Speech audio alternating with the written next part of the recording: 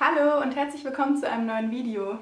Heute ist der erste Tag, an dem ich wieder mit dem Intervallfasten anfange und allgemein so meine Fitness- und Gesundheitsreise äh, mit euch zusammen beginnen möchte. Ich war die komplette letzte Woche mit Felix und seiner Familie in Kroatien und wir haben ungelogen nur gegessen. Wir haben den ganzen Tag nur gegessen. Ich fühle mich einfach richtig uh, und äh, möchte einfach wieder ein bisschen fitter werden, möchte ein bisschen ähm, ein paar Kilos verlieren, aber der Hauptfokus soll auf meiner Gesundheit liegen, weil ich einfach, ich möchte wieder besser essen, wieder ein bisschen mehr Sport machen und einfach sich, mich einfach mehr um meinen Körper kümmern.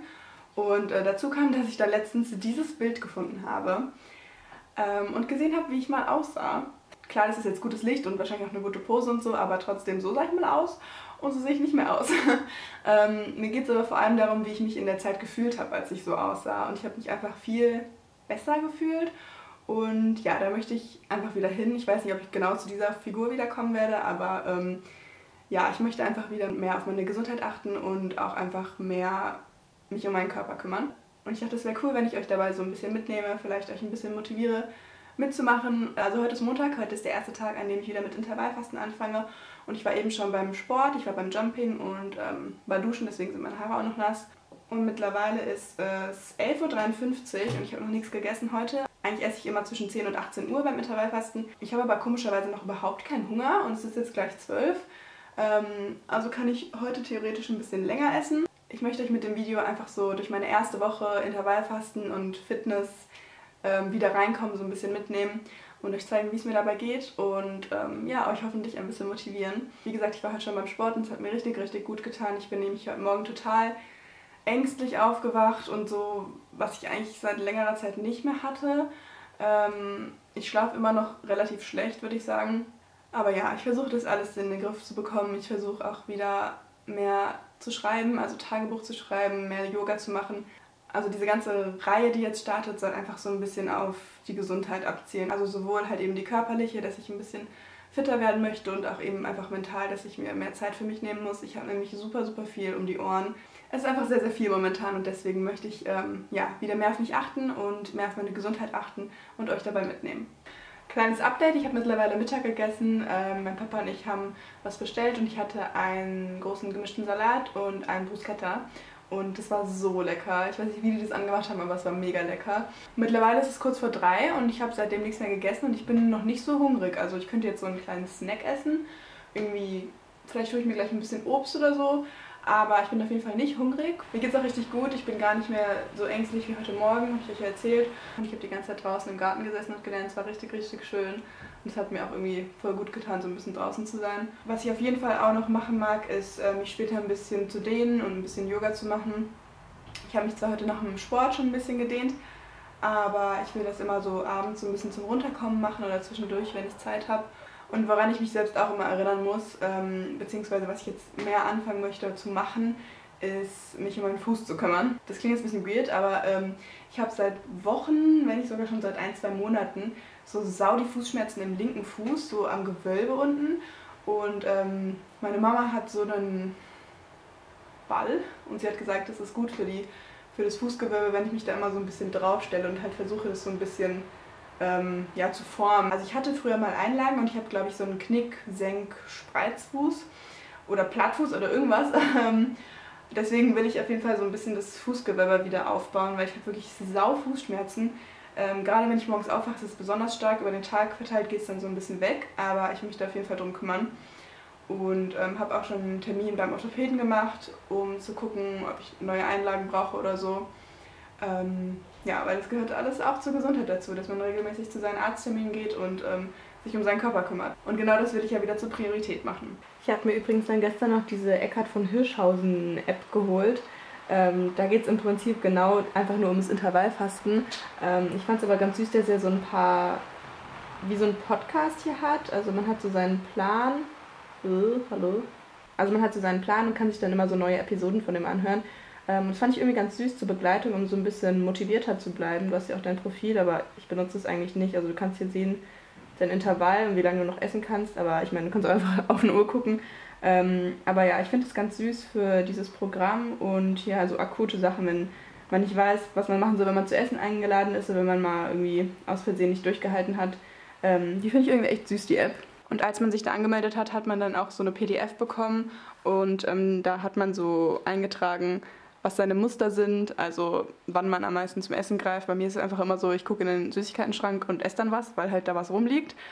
Ähm, dann das Motiv, also warum du überhaupt Intervallfasten machen möchtest und da unten deine Ja-Aber, also deine Ausreden, dass du die halt besser erkennst und dann nicht so schnell ähm, ja, aufgibst. Und das fand ich irgendwie ganz süß und habe mir das einfach mal neben den Spiegel gehangen. Ich kann mich irgendwie gar nicht mehr konzentrieren beim Lernen, deswegen ähm, mache ich jetzt eine Pause oder höre vielleicht auch ganz auf für heute ähm, und werde mich jetzt ein bisschen um mich selbst kümmern. Ich will eine Maske machen und ein bisschen Yoga und vielleicht ein bisschen meditieren. Und ich glaube, ich werde mir eine Maske von meiner Schwester allein. Die hat nämlich so eine Maske, die ganz gut gegen Pickel sein soll. Und ich habe ja ein bisschen Probleme mit Unreinheiten in der letzten Zeit. Ähm, ich benutze diese Coco Wow Maske von Hello Body. Ähm, ist natürlich nicht gesponsert.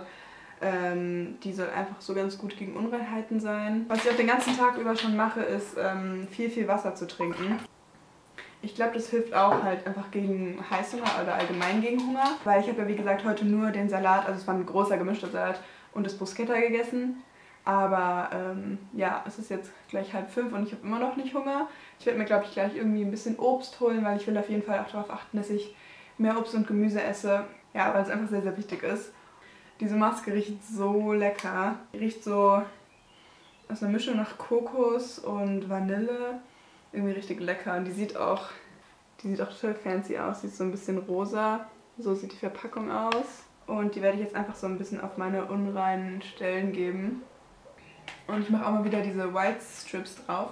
Ähm, die habe ich euch mal in einem Favoritenvideo gezeigt und seitdem habe ich sie irgendwie fast gar nicht mehr benutzt. Aber ich werde die Packung, also ich werde mir die nicht nachkaufen, glaube ich. Aber ich werde die Packung halt einfach noch leer machen. Und da sind noch so ein paar Streifen drin. So sieht es aus. Man hat einfach so zwei so Streifen. Ich finde irgendwie, je öfter ich ihn benutze, desto weniger mag ich das Gefühl von denen auf den Zähnen, weil sich halt diese Streifen irgendwann so auflösen und es macht es sau schwer, die abzukriegen. Aber ja, wie gesagt, ich werde die jetzt einfach noch leer machen.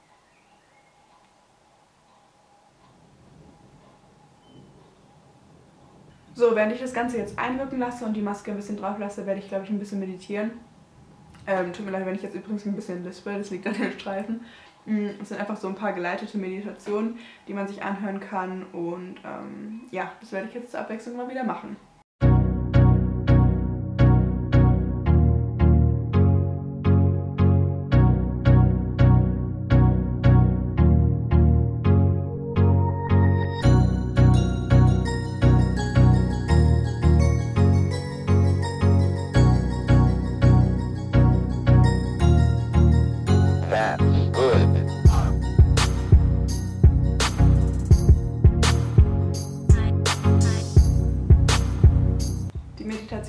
Richtig, gut getan. Ich hatte zwar immer noch Probleme damit, Gedanken, die mir während der Meditation kommen, einfach gehen zu lassen. Ich lasse mich relativ schnell von den Gedanken dann ablenken. Ähm, aber es war irgendwie total schön, sich mal diese 10 Minuten Zeit für, für sich zu nehmen und irgendwie ja, auf seinen Körper zu hören. Und ich glaube, das werde ich jetzt wieder öfters machen. Ähm, ich fühle mich auf jeden Fall schon ein bisschen besser und ähm, die Maske ist in der Zeit auch fast überall getrocknet und ähm, ich würde sagen, wir machen die jetzt mal ab.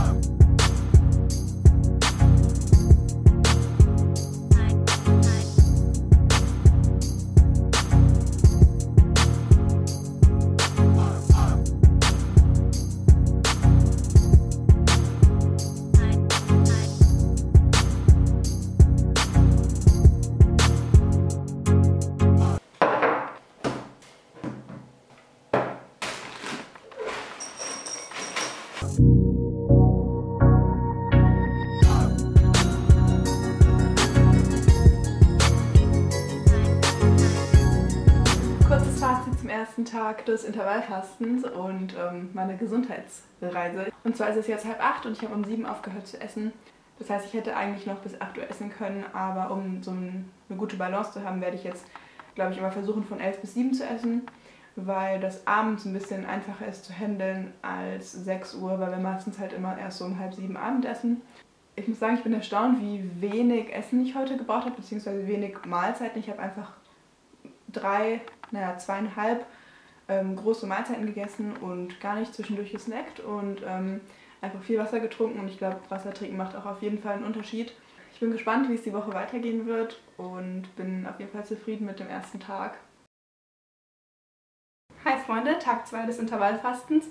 Ich komme gerade aus der Uni, es ist ähm, halb drei und heute Morgen hat es echt gut geklappt. Also mein Magen hat so ab 10, halb elf ein bisschen geknurrt und um elf habe ich dann was gegessen.